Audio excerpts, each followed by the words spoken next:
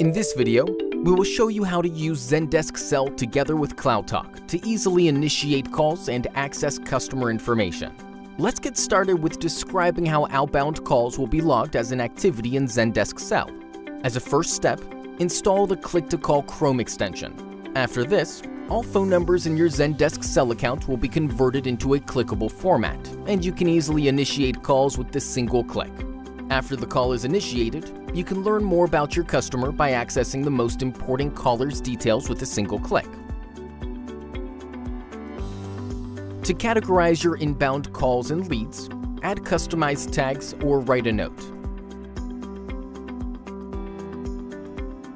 After the call, you can evaluate the customer mood or call quality. Your outbound call was logged as an activity in Zendesk Sell. After clicking the activity detail, you can see all relevant information such as the agent's name, call date, duration, and access the recording. The Zendesk Sell integration allows you to see the caller's details before picking up the phone. Let's see how that works in practice.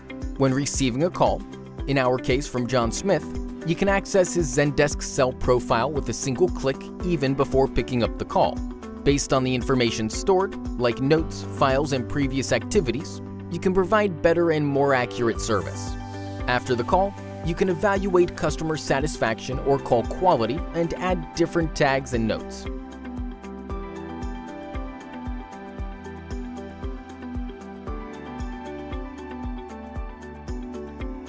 All the calls get automatically logged into the customer profile. That includes call date, duration, agent's name, and call recording. Let's continue with showing you how the missed calls and voicemails are logged as activity in Zendesk Sell. When having a missed call from a customer, it will be logged as an activity in a customer profile. Thanks for watching.